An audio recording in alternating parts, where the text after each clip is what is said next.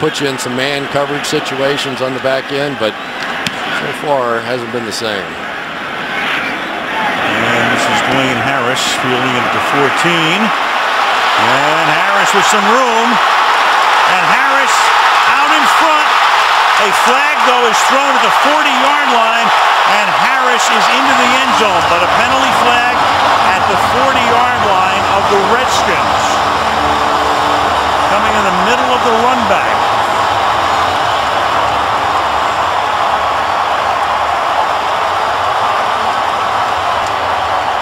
So while the crowd exults, the flag came down right next to the Redskin bench, and Walt Anderson will make the call. This is an interesting call. Very. Uh, it, this is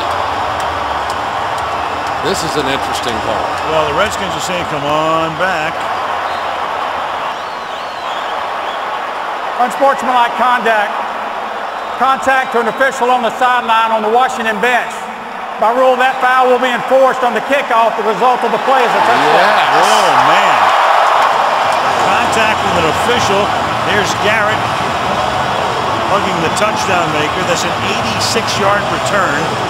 And one thing Garrett said is our special teams have to beat theirs. Right?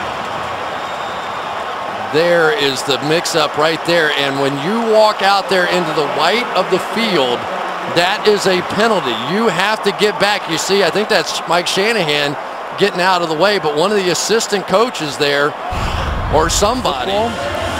Heading to Indianapolis next week where only the Denver Broncos and Peyton Manning are taking on the Colts on Sunday Night Football is Dwayne Harris, who's been the star of the game to this point, has another big run back. And Harris, who has already been to the end zone once, is inside the 30.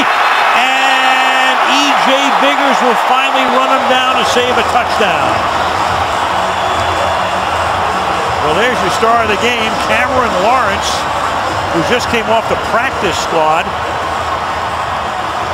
Threw a block, and you got an injured Cowboy after a 90-yard return. 90-yard return.